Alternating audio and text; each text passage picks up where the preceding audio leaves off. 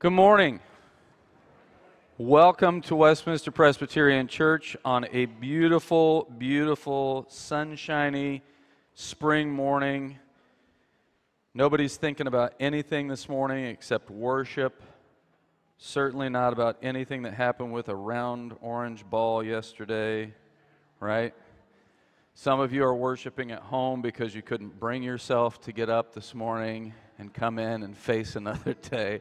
No. Uh, we, we are delighted to be here this morning. You've chosen to be here in this space, and that means something. You've chosen to be a part of this community, whether you're a member, whether you're a visitor, whether you're, you've come along with someone else. We're delighted that you are here with us this morning to worship and to grow in, uh, in community. And so uh, there are a few things that I want to bring to your attention while you're here uh, that are coming up in the life of our church. Uh, first, we have another cello recital uh, coming up. It is this evening, and uh, Owen Chin, and some of you I know came to uh, the, the first recital a few weeks ago. Owen's got another recital, and I'm trying to, to see on the slide back Three there o'clock. that it's, uh, say again? Three o'clock. It's at 3 o'clock, thank you. It's at 3 o'clock here in this space. He really is a very, very, very gifted uh, cellist and, and would invite you to come out. What I tell our, our youth all the time when we have concerts or recitals and, and stuff that may not be up their alley is good music is good music, regardless of whether it's your style. And this is good music. And so would invite you to come out today at 3 o'clock in this space and, uh, and listen to some good music. Uh, also, uh, Holy Week is right around the corner, and uh, we just want to make sure you know where you're supposed to be and when you're supposed to be there. So, next Sunday is Palm Sunday. We'll have our, our normal two services with our, our Palm Parade, and would certainly invite you to come out and participate in worship. Then we have our Maundy Thursday service at 6:30 uh, that Thursday, again in this space. The following day, we'll have a noon Good Friday service, and we will begin in this space at noon but we will also be moving. This is going to be kind of a different, different type of service. Uh, I'm hoping that if all goes well, that it will be a very meaningful service as well. Uh, I know that's right in the midst of the workday for some, but if you are able to make it out for that Good Friday service, uh, I, I, feel confident to say that it will be worth your while, uh, and we would certainly love to see you there. And then on Easter Sunday, uh, we have our normal two services at, at 9 o'clock and 11 o'clock here uh, in this space. We also have our uh, what has certainly become our traditional 6:30 sunrise service at the home of Mark and Bev Hill over on Kemp Road East. Uh, please do make a note of that address, and if you have questions about where that might be and uh, what, what you do, if you've never been to that service, uh, please do um, ask. Uh, you can contact the office, and we'll get you information that you need. But uh, that's probably my favorite service of the year. Um, anyway, that's what's happening uh, coming up for Holy Week and Easter. Uh, also, what's coming up is our mission auction. We're in the midst of this Lent challenge and, and, and Lenten season, and beyond that, we will continue uh, with the challenge for our, our mission, mission ministries, both here locally and uh, in our wider world. And the mission auction will kind of be the culmination of that. That's on April 13th. If uh, you were planning on making a donation, please do so today because today is the deadline for our donations so that we can begin to tell you about what, uh, what we're going to be auctioning off, and, and, and you can really get ramped up and ready for that. Uh, we, we, do have uh, small things, we have large things, we have vacation homes, we have uh, dinner experiences, uh, we, we have all sorts of, of, of, things that, that you can um, gift to other people. Maybe there's a, you have a favorite pastor who's going to be retiring soon, and you wanted to get him a little something before he leaves in June. Um, this is, this is going to be a fun night. Dinner will be uh, served, and, and it'll be great fellowship, and, and hopefully, we'll raise a lot of money for our, our mission ministry here at Westminster. Again, there's much more information about that on the website. And there's much more information about uh, the transition that we are in the midst of, and we'll soon be uh, getting deeper into uh, in the coming weeks and months. There'll be a short informational time following the worship service today about our pastoral transition and our trans- from our transition team and then there'll be a q&a session down in the fellowship hall between services today that we would love for you uh, to participate in and now let's continue to prepare our hearts for worship toward the end of jesus ministry some greeks came and asked two of his disciples andrew and philip um, they would like to see Jesus. Jesus says that the hour has come for the Son of Man to be glorified. But this is going to be a strange glory. Jesus says, When I'm lifted up from the earth, I will draw all people to myself. And he's referring to his crucifixion when he will be lifted up on a cross, but also to his resurrection when he'll be lifted up from death to new life. Jesus drew all kinds of people to his ministry, drawing not boundaries about who was invited into God's love. And now, in his death and resurrection, Jesus says he will draw all people to him. Jesus invites each one of us into the strange glory of God's new creation. Friends, as you are able and as you desire, let's stand and sing together.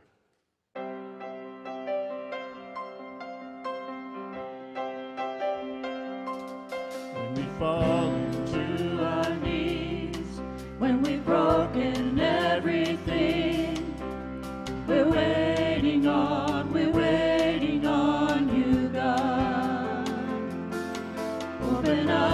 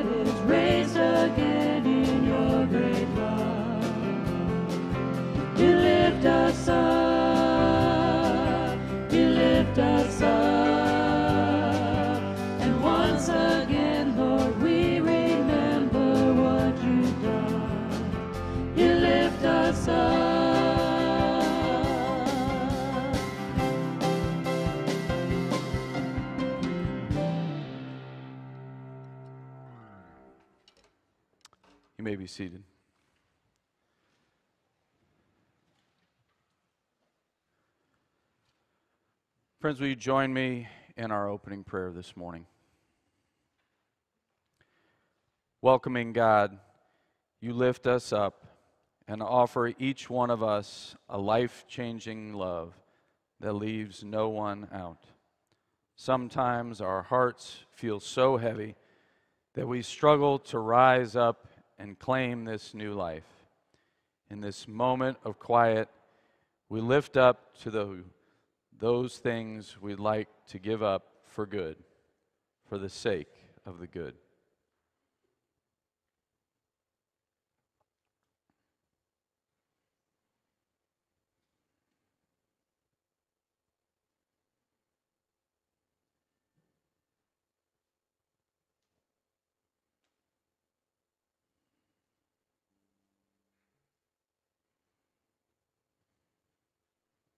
Amen.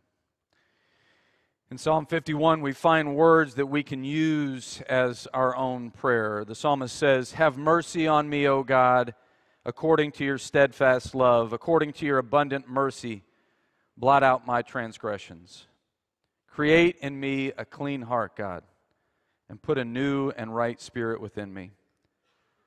Do not cast me away from your presence and do not take your Holy Spirit from me. Restore to me the joy of your salvation and sustain in me a willing spirit. My friends, God hears our prayers for mercy and God answers us.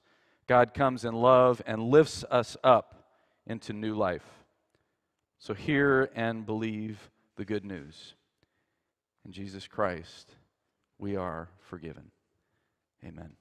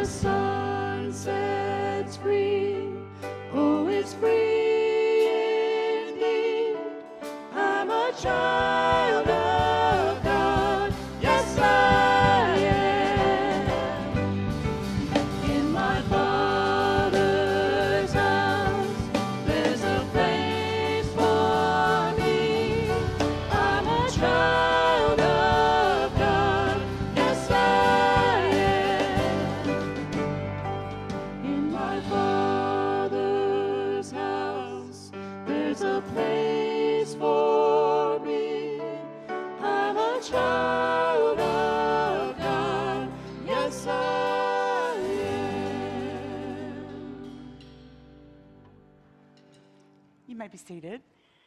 I'd like to invite the children to join me on the chancel steps.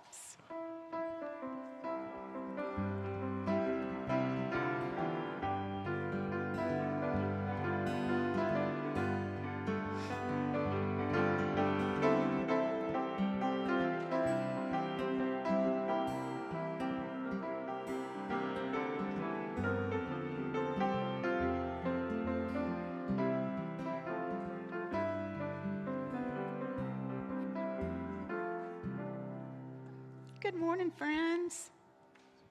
How is everyone this morning? Thumbs up. I like it. Two thumbs up. What do you think it means to lift someone up? If they're sad, to make them happy. What else? Make them feel better. Yeah. To encourage them. Anyone else? Those are all really, really good things. And when someone's down, depending on why they're down, it's always nice to be that person that's there to say, it's going to be okay which reminded me of my dad. And my dad used to work with people who had lost their jobs. And he had this special little saying that he used to say to everyone, and he would give them a pen, and it said, egg bar. And people would say, What in the world does that mean? What do you think that means? I'm going to say it like him everything going to be all right. That's what that pen meant. So he would give that to people to lift them up. So Today's worship theme is all about lifting people up to new heights. And if you remember last week, I kept thinking to myself, oh, what a dreadful story when Carl's house was on fire and he had given Kevin the mama bird up for. Um, to be caught by mean old Muntz, I thought, oh, what a horrible thing. And then I thought, oh, there's got to be something good next next week. So here's where we are this week in our book, and it's the last week for anyone who's asking. Um, Carl, Carl made it to Paradise Falls, but he felt lonely in his empty house. So, with, with Russell and Dug's help, Carl went back to rescue Kevin. But this time, Carl could not save his house. It fell down, down, down. That does not sound like it's so uplifting, does it? But this time, oh, but that was okay. Carl might have lost his house, but he still had his memories of Ellie, and he also had his friends. So, the, the end of the story, he's lifted up because not only did he lost his house, and that was his favorite thing that reminded him of Ellie, but then he remembered that he carried Ellie in his heart and he had all these friends on the journey with him. And our church likes to lift people up. If I were to tell you or challenge you this week to go out and lift people up, what might you do?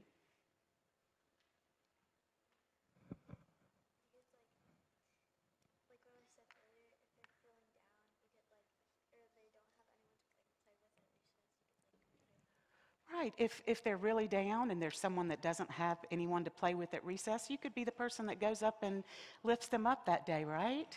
That's a great idea. Anyone else? Will you pray with me? Repeat after me.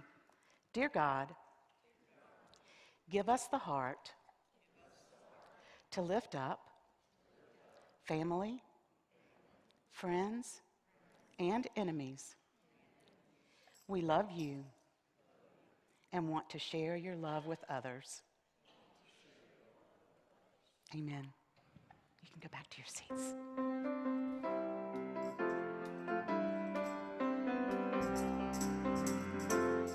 I'm gonna believe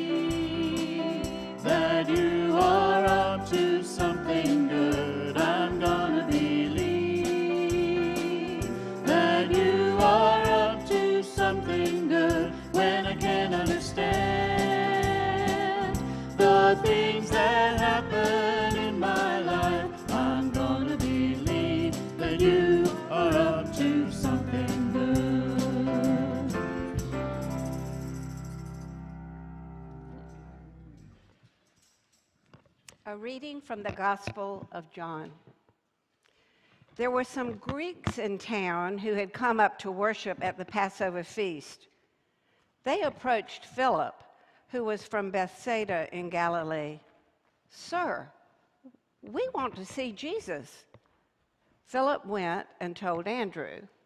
Andrew and Philip together told Jesus. Jesus answered, The hour has come for the Son of Man to be glorified. Jesus said, Listen carefully. Unless a grain of wheat is buried in the ground, dead to the world, it is never any more than just a grain of wheat. But if it dies, it bears much fruit. In the same way, anyone who holds on to life just as it is destroys that life. But if you let it go, reckless in your love, you'll have it forever, real and eternal. Whoever serves me must follow me, and where I am, there will my servant be also. Whoever serves me, the Father will honor. Right now, I am shaken. And what am I going to say? Father, get me out of this? No, this is why I came in the first place. I'll say, Father, glorify your name. A voice came out of the sky. I have glorified it, and I'll glorify it again. The listening crowd said, It was thunder. Others said, An angel spoke to him. Jesus said, The voice didn't come for me, but for you. Now is the time for judgment on this world. Now the ruler of this world will be driven out. And when I am lifted up from the earth, I will draw all people to myself. He put it this way to show how he was going to be put to death. Voices from the crowd answered, We heard from God's law that the Messiah lasts forever. How can it be necessary, as you put it, that the Son of Man be lifted up? Who is this Son of Man? Jesus said, You are going to have the light just a little while longer. Walk while you have the light before darkness overtakes you. If you walk in the darkness, you don't know where you're going. While you have the light, believe in the light so that you may become children of light. This is the word of the Lord.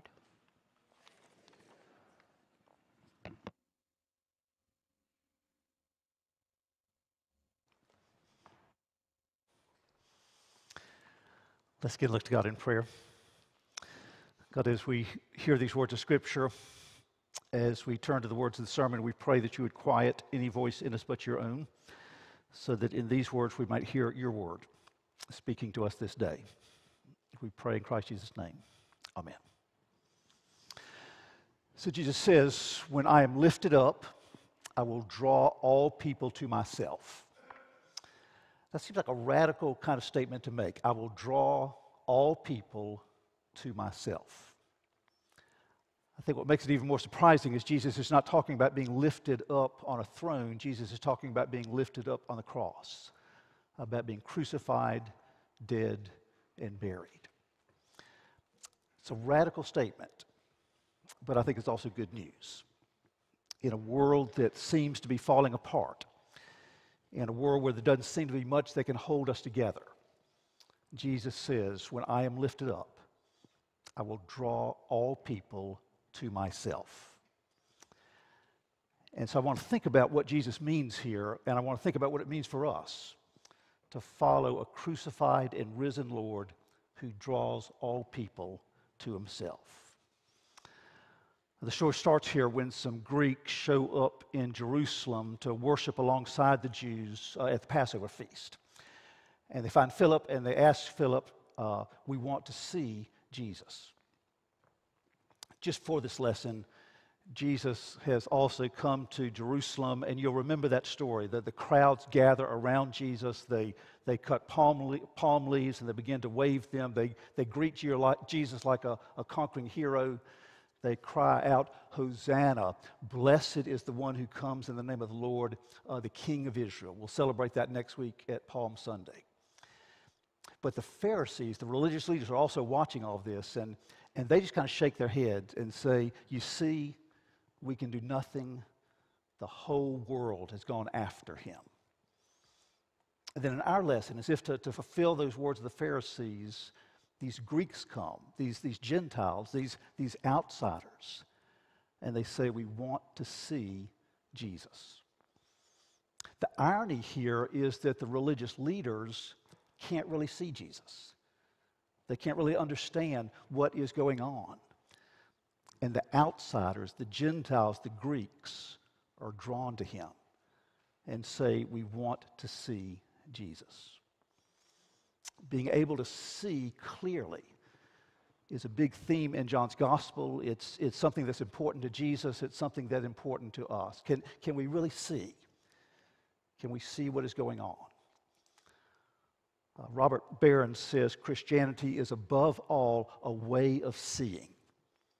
Everything else in the Christian life revolves and circles around this transformation of visions. Christians see the world differently. And so their prayer, their action, their, their way of being in the world looks different from other people. Uh, Barron goes on to say that, that he thinks that the basic problem we have in life is that we tend to see from a mind of fear rather than a mind of trust. And, and, once we have that lens, once we see the world through this lens of fear, it begins to feel like a hostile world around us. We begin to feel like we are being threatened. And so there's this tendency to, to, to be ready to defend ourselves and, and to lash out at those who we think are our enemies. And I think that's what's happening to the, to the Pharisees here, to the religious leaders. Uh, they're living through this kind of lens of fear, this mind of fear. And so they see Jesus as a threat. They're afraid they're going to lose their authority. They're afraid they lose their positions of respect.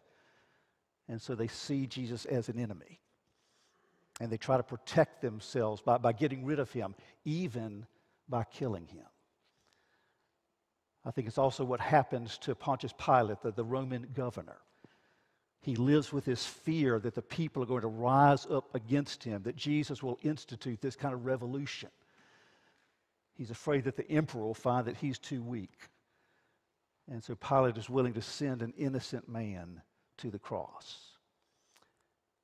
And I think sometimes it happens to us. I think sometimes we begin to see this world through this, this mind of fear instead of through a mind of trust. And so it, it clouds our vision, it brings out the worst in us. I think that's why we gather week after week for worship. We come to this place because we want to see Jesus. We want to understand who he is and, and what he's doing in the world and what he's doing in our lives. We want to see ourselves more clearly. We want to see the world more clearly.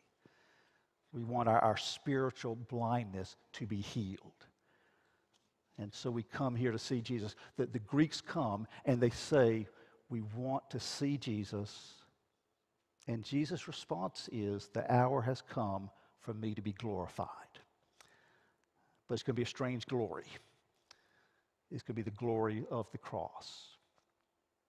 I think Jesus knows that, that people can't really see him, people can't really understand him unless they understand this strange glory of the cross. That Jesus has come to offer up his life. And so Jesus starts now to talk to his disciples about his death and about his resurrection. Jesus says, unless a grain of wheat falls into the ground and is buried, it, just remains a single grain. But if it's buried, then it bears much fruit. Uh, we've got these bulbs of flowers that, that, that lie underneath the ground in our yard all winter long. And, and now, this time of year, these flowers just start to bloom out from everywhere. And Jesus says that's what his death is going to be like, that, that when he dies, it will bear this beautiful fruit. But first, Jesus has to be willing to give up his life to trust that God is in control of his life, even when he gives it up. He has to be willing to, to live with this trust. And that's what's going to lead him to the cross. Uh, we read Eugene Peterson's translation of, of those verses. Peterson says, Anyone who holds on to life just as it is destroys that life. But if you let it go, reckless in your love, you'll have it forever, real and eternal. And I think that's part of what the cross shows us that, that, that we have to have this kind of death, this, this kind of letting go, this kind of reckless love. And only then can we be lifted up and receive new life. But I think the cross is also about something more. It's also about the way God is at work in the world to redeem and to heal the world's brokenness. Uh, I shared a quote in the e news this week from Christopher Watkin. Uh, he says, The cross is an oddly provocative choice for the central image of a new religion, hoping to get off the ground in Palestine. Remember, the cross in Jesus' day was not a sign of love, it was a sign of Roman power, Roman brutality. Uh, the cross for, for Rome was not just a way to, to execute their criminals, it was kind of a public spectacle that was meant to send this message to everyone. If you cross Rome, this is what's going to happen to you. Uh, it, it, was based on this system of vengeance, this, this way of saying, if, if you hurt me, I'm going to do something even worse to you. It's based on fear, on violence, on, on oppression, on, on control of others. And it's not just Rome that, that, that has this kind of system. This, this becomes kind of the default operating system for most of human history. And so you just see this, there's always one group that, that tries to, to be in control and oppresses the other group and, and uses fear and violence to do that.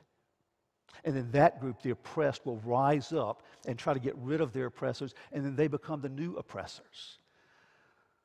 Uh, Nietzsche once said, Beware when you fight a monster, lest you become a monster yourself. And I think we human beings just create a lot of monsters. And we sometimes become a monster, even if we're always claiming it's, it's the other folks who are. we get trapped in these systems that, that, that just cycle and, create even more violence and, and evil. You see that if you look at the news around us. But what Jesus does is, is to step out of that system and to bring a judgment on that system. Jesus refuses to retaliate, he refuses to start a revolution, he refuses to return evil for evil. And that means Jesus ends up going to the cross. And it, and it, looks to most folks like, like this is a sign of weakness, like this is a kind of defeat.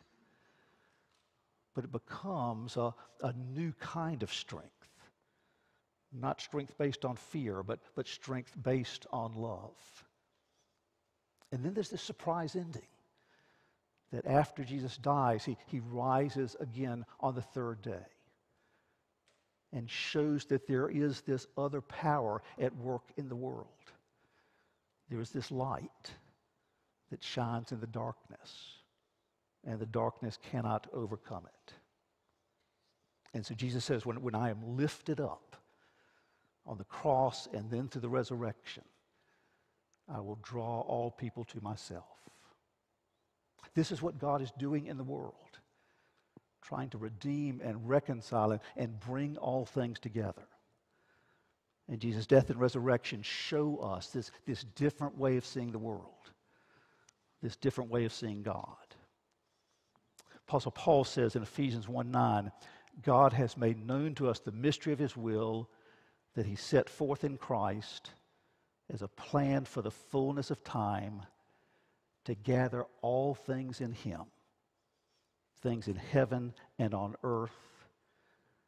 I think this is also what's happening in the church, at least when we get it right.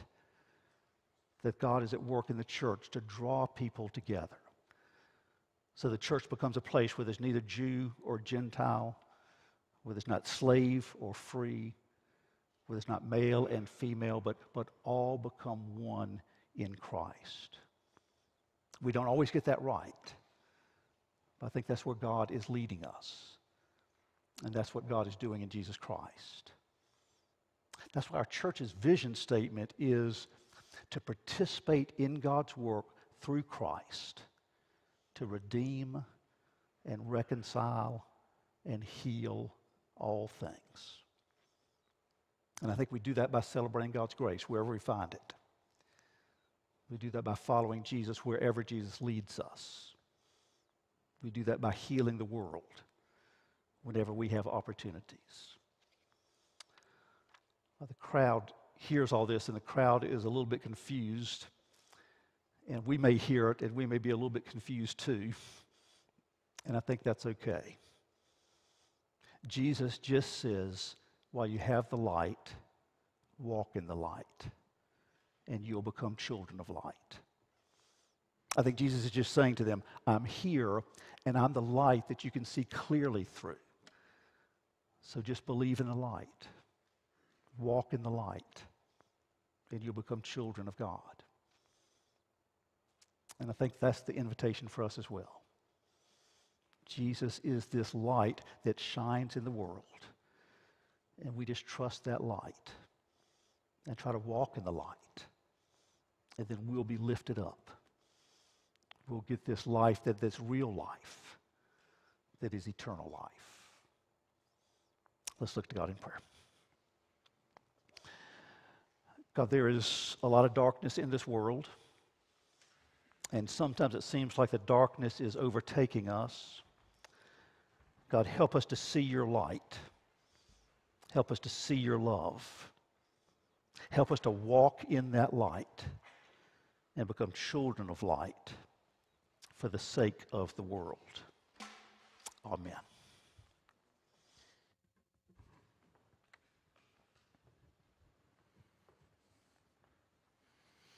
I think one of the great questions that we have as people of faith uh, so often is, is uh, I know I can come to church on Sunday mornings and worship, and I can go to faith form- formation and grow in my understanding of who God is, but how, how can I lift up those around me? We have an opportunity, it's, it's just a part of a larger opportunity, but we have an opportunity each week when we gather during this time in our worship service to, to give back out of that with which we've been blessed so that, so that our gifts and our thanksgiving can go to lifting up and sharing the light with those in our wider community. And so this morning, as the Spirit leads you, I would encourage you and invite you to share your love and to share your light through the gifts of your tithes and offerings.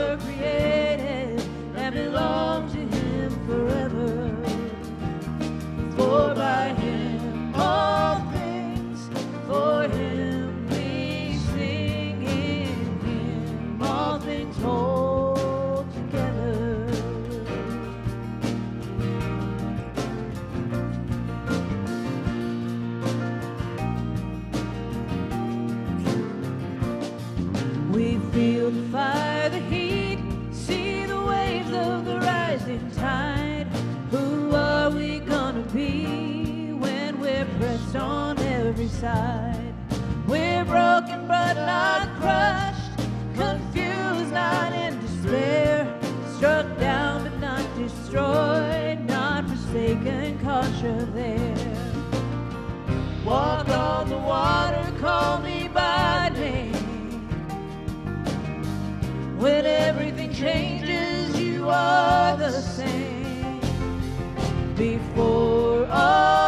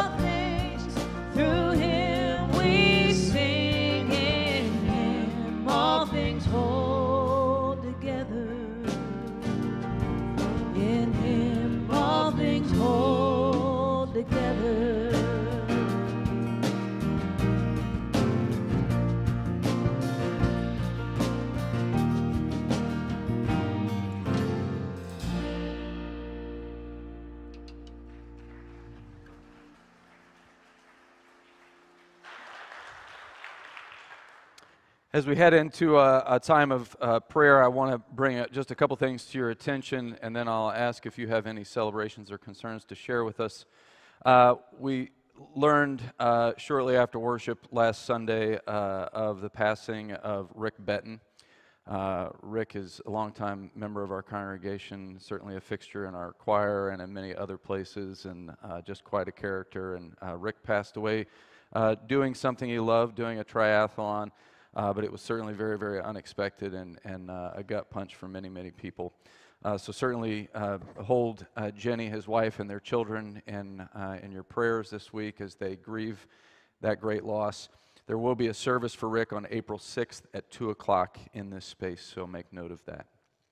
Uh, and also, I want to celebrate. Yesterday, we had our spring thing for our, our young people and some young families, and we had quite a, a cluster of kids out in the talent field uh, collecting uh, Easter eggs and, and, and storing up their candy uh, and playing games. And, what a gorgeous day it was. Uh, and somebody, I'm not going to mention any names, forgot to put on sunscreen uh, and stood out there for quite some time, soaking in those rays.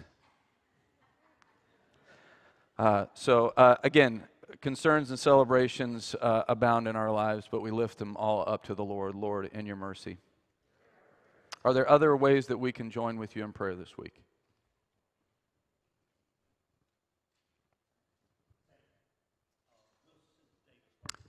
That's right. Wilson Davis lost his sister. She was 91, I believe, uh, uh, this week. And so we lift up Wilson and his family, Lord, in your mercy. Other things. Let's go to God in prayer.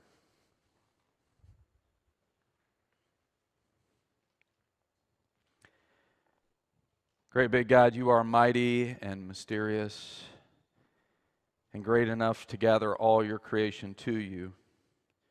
Great enough to lift us up out of our despair and darkness, great enough to open our eyes, great enough to love us all, great enough to give us life, great enough to extend grace and mercy when we struggle and when we just don't understand the world or your ways. Lord our God, as we sit in quietness, our thoughts are far from quiet. We're wrestling with doubts and fears. We're looking for answers. We're hoping against hope. We're seeking strength. We are hungry. We're hungry for warm sunshine, for healed bodies, for rest from tears. Your word says the hungry will be filled, and we ask today for you to fill us. Fill us up with the breath of life. Fill us up with thankful hearts. Fill us up with calmness, courage, and most of all, with the knowledge of your presence. There are people we know and love who are sick and suffering. We ask, God, that you would surround them with your strong healing presence. Grant wisdom to those who need answers to difficult questions. Grant hope to those who are living with hurt, and friendship to those who feel lonely. Most of all, Lord God, may we know your love, your great love that you have for each one of us. You know the hairs on our heads, you count each beat of our heart. You knit us together when we were being formed. You know our getting up and our lying down. You're familiar with all our ways. There's no place we can hide from you. You were there at our beginning, and you will be with us through to the end. May we not lose sight of your constant care. We look to you, O oh God, to be present in our communities and in our world. Continue to show us how Westminster can be a part of your work in the world. Teach us how we can grow into faith and become more and more like Jesus. We ask, Lord, that you would bless the work of our hands and the words from our mouths. Bless all that we offer and receive today. We gather all our prayers together, the spoken and the unspoken, as we pray the prayer you taught us. Our Father, who art in heaven hallowed be thy name. Thy kingdom come, thy will be done, on earth as it is in heaven. Give us this day our daily bread, and forgive us our debts as we forgive our debtors. And lead us not into temptation, but deliver us from evil. For thine is the kingdom, and the power, and the glory forever. Amen. Let's stand and sing together.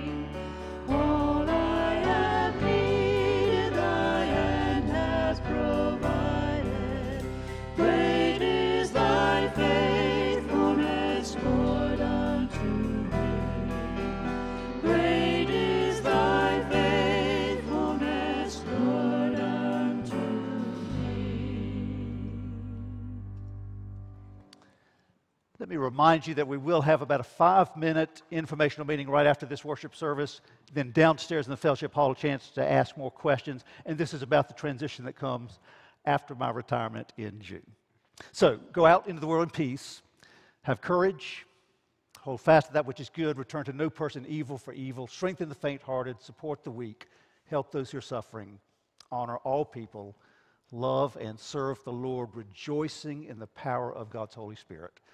And now by the grace of God our Father, the love of his Son, Jesus Christ, and the power of God's Spirit be with you now and always.